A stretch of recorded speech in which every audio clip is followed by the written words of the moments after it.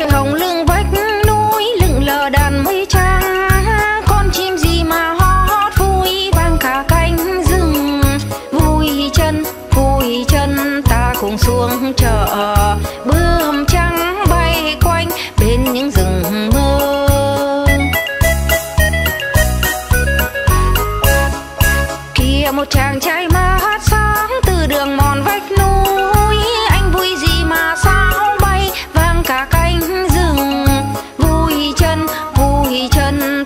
ta xuống chợ. Bướm trắng bay quanh bên những rừng mơ. Xuống chợ xuống chợ. Ngại ngùng gì hỡi em? Xuống chợ xuống chợ. Xuống chợ với em. Ái là, chàng trai khôi ngô ghê.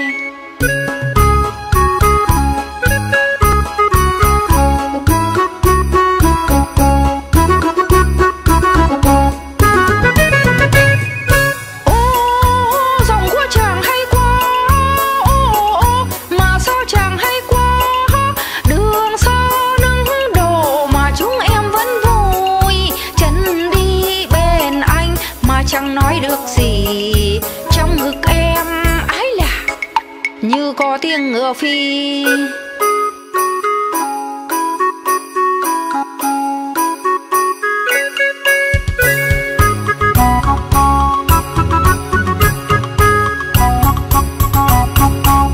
Chào những người con gái có nụ cười đẹp quá, em vui gì mà liu lo như đàn chim trời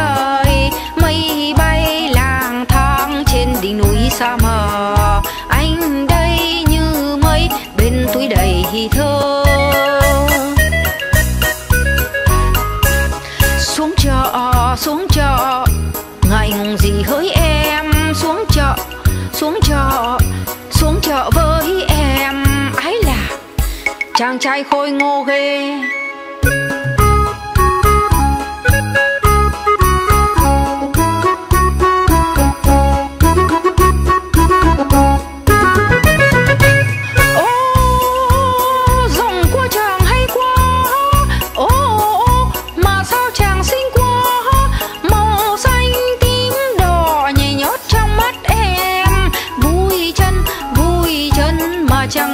Chẳng gì Trong ngực em?